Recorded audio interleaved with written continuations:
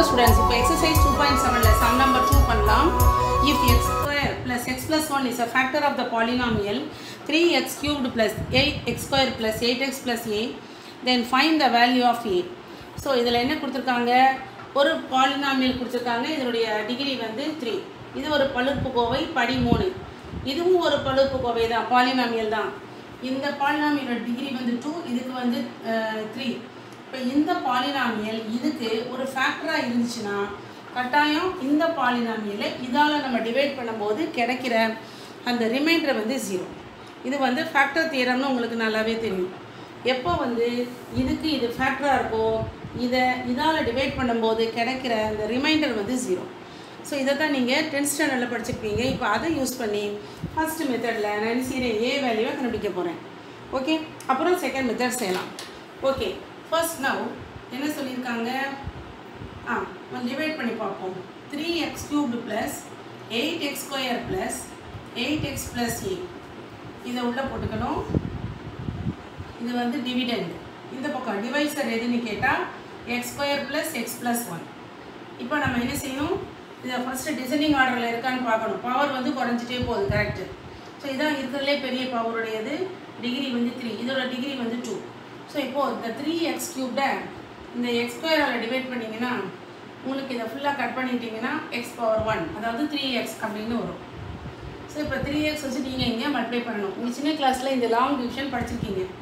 So three எக்ஸோட X ஸ்கொயரை பெருக்குன்னா அது த்ரீ எக்ஸ் க்யூப்டு த்ரீ எக்ஸை எக்ஸால் பெருக்குன்னா த்ரீ எக்ஸ் ஸ்கொயர் த்ரீ எக்ஸை ஒன்னால் பெருக்குன்னா த்ரீ எக்ஸ் இப்போ நம்ம சைனை மாற்றணும் சைனை மாற்றினோன்னே இது கட் ஆயிரும். இதில் eight minus த்ரீனா five x square eight minus த்ரீனா five so plus five x அப்புறம் ப்ளஸ் இ இப்போது இதில் ஃபஸ்ட்டு டேர்ம் எதுனா இந்த ஹையஸ்ட் பவருடையது ஃபைவ் எக்ஸ் ஸ்கொயர் ஸோ அந்த ஃபைவ் எக்ஸ் ஸ்கொயரை இங்கே இருக்கிற அந்த எக்ஸ் ஸ்கொயரால் நம்ம என்ன செய்யணும்? டிவைட் பண்ணணும்.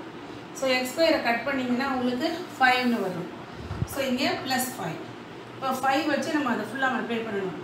Five into x square x square plus five into x five x plus five into one five இப்போ நம்ம சைனை மாற்றணும் சைனை மாற்றும் போது இதுவும் கட் ஆயிரும் இதுவும் கட் ஆயிரும். மீதி ஏ மைனஸ் ஃபைவ் இப்போ சம்மில் என்ன கொடுத்துருக்காங்க? சின்ஸ் அதாவது x square plus x plus one is a factor இந்த ரிமைண்டர் இருக்கே. மீதி must பி ஜீரோ இங்கே மீதி என்னது? ஏ மைனஸ் ஃபைவ் அப்போ தட் ஷுட் பி ஜீரோ அதிலிருந்து ஏயோட வேல்யூ ஃபைவ் அப்படின்னு நமக்கு கிடச்சிச்சு. இது வந்து நீங்கள் சின்ன கிளாஸில் படித்த மெத்தட் இப்போ நம்ம இங்கே கொஞ்சம் லெவன்த்தில் கொஞ்சம் டிஃப்ரெண்ட்டாக நம்ம என்ன செய்யலாம்? செய்யலாம். இப்போது இதனுடைய டிகிரி த்ரீ இதனுடைய டிகிரி டூ ஸோ இது ஒரு it is a factor of degree two okay three x cubed plus eight x square plus eight x plus a is of degree இதனுடைய படி என்ன? த்ரீ அப்போ நிச்சயமா த அதர் ஃபேக்டர் எப்படி இருக்கும்? The other factor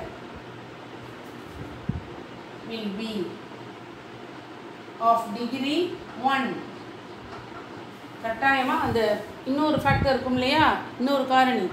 ஏன்னா இதை இன்னொரு காரணியால் மல்டிப்ளை பண்ணும்போது இது வரும். ஏன்னா இது ஒரு காரணி சொல்லியாச்சு.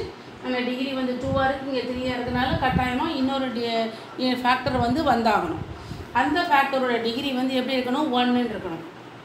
இப்போது அதை நம்ம என்ன செய்யலாம்? அசீவ் பண்ண அசீவ் பண்ணலாம். எப்படி?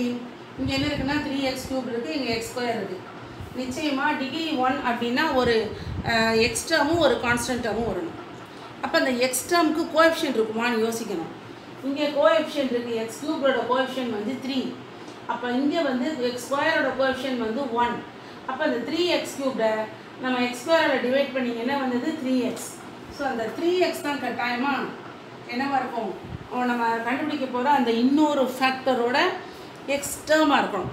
அப்போ இது வந்து த்ரீ எக்ஸ் ப்ளஸ் ஒரு கான்ஸ்டன்ட் ஆக்சுவலாக இப்போ இந்த த்ரீ எக்ஸோட இந்த எக்ஸ் ஸ்கொயர் மல்டிப்ளை பண்ணால் தான் நமக்கு இந்த எக்ஸ் கியூப் டேர்ம் வரும். அதே மாதிரி இதில் வரப்போகிற கான்ஸ்டன்ட்டையும் இந்த கான்ஸ்டன்ட்டையும் நம்ம அப்ளை பண்ணாதான் இந்த பாலினாமியலோட கான்ஸ்டன்ட் வரும். நான் என்ன செய்கிறேன் புரியுதா? ஆக்சுவலாக நமக்கு வந்து இன்னொரு ஃபேக்டர் வேணும். அந்த ஃபேக்டரை நம்ம இங்கே ஏற்கனவே ஏன்னு வந்திருக்கிறதுனால நான் வந்து பிஎக்ஸ் ப்ளஸ் சி அப்படின்னு அசியூம் பண்ணுறேன் இதுக்கு என்ன மீனிங் அப்படின்னு கேட்டால் இந்த x square plus x plus ஒன்னையும் இந்த பிஎக்ஸ் ப்ளஸ் சியை நம்ம அப்ளை பண்ணால் எனக்கு என்ன வந்துடும் three x cubed plus eight x square plus eight x plus a எனக்கு கிடைக்கும். ஏன்னா இது ஒரு ஃபேக்டராக இருக்கனால இது இன்னொரு ஃபேக்டர்னால் இது ரெண்டையும் மல்டிப்ளை பண்ணால் எனக்கு இது கிடைக்கணும். அப்போ இதை பார்த்தாலே தெரியுது.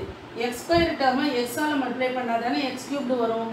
இங்கே வந்து த்ரீன்றது இருக்கா? அப்போ நிச்சயமா இந்த இங்கே கோஷன் வந்து ஒன் இது வந்து பி அப்போ ஒன்னையும் பியை மல்டிப்ளை பண்ணினா b so that b must be equal to g கரெக்டாக அப்போ எனக்கு பி கிடச்சிச்சு இப்போ எனக்கு என்ன வேணும்? சி வேணும். சி வந்து எங்கே இருக்குது கான்ஸ்டன்ட் பிளேஸில் இருக்குது ஸோ இந்த கான்ஸ்டன்ட்டோட கான்ஸ்டன்ட்டை மல்டிப்ளை பண்ணால் தான் எனக்கு ஏ கிடைக்கும். கரெக்டாக இந்த கான்ஸ்டன்ட்டோட இந்த கான்ஸ்டன்ட் மல்டிப்ளை பண்ணால் தான் ஏ அப்போ கட்டாயமாக சியும் என்னவாயிரும்? உங்களுக்கு ஏனே வந்துடும் அண்டர்ஸ்டாண்ட் இப்போ நமக்கு என்ன வேணும்? ஏயோட வேல்யூ வேணும்.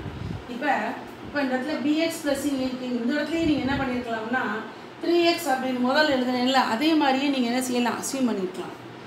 அதாவது இப்போ நிச்சயமாக இந்த பி வந்து என்னவா இருக்கணும்னா த்ரீயாக இருக்கணும்.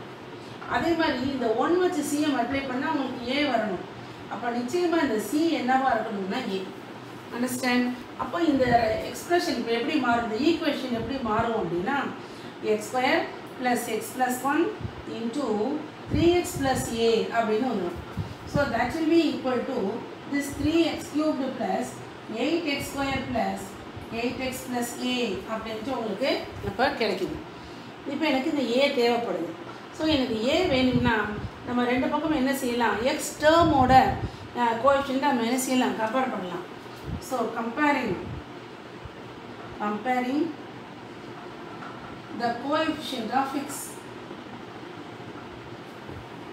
x தான் பண்ணணும்னு இல்லை. எக்ஸ் ஸ்கொயரையும் பண்ணலாம். நான் செய்ய போகிறது எக்ஸ் ரெண்டு பக்கமும். நான் செய்கிறேன் கம்பேர் பண்ணுறேன் இப்போ இந்த பக்கம் ஆர்ஹெச்எஸில் எக்ஸோட கோஎஃபிஷியன்ட் எவ்வளோன்னு கேட்டால் எயிட் இந்த எல்ஹெச்எஸில் எக்ஸ் டேர்ம் எப்படி வரும்? இந்த ஃபேக்டரை இதாக மல்டிப்ளை பண்ணால் தான் உங்களுக்கு அது வரும். அப்போ இந்த ரெண்டு இதில் எந்தெந்த டேர்ம்ஸை மல்டிப்ளை பண்ணால் எக்ஸ் வருதுன்னு பார்க்கணும். எக்ஸ் டேர்ம் வருது. அப்போ எக்ஸ் டேர்மோட கான்ஸ்டன்ட்டை மல்டிப்ளை பண்ணணும் அதே மாதிரி கான்ஸ்டன்ட்டோட எக்ஸ் டேர்மை மல்டிப்ளை பண்ணணும். கரெக்டாக கான்ஸ்டன்ட் டேர்மோட எக்ஸ் நம்ம மல்டிப்ளை பண்ணணும். இப்போ இந்த எக்ஸோட ஏயை மல்டிப்ளை பண்ணிங்கன்னா ஏஎக்ஸ் ஸோ ஏஎக்ஸில் எக்ஸோட கோஎஃபிஷியன் வந்து ஏ அடுத்து plus three one into three எக்ஸ்னால் three X தான்.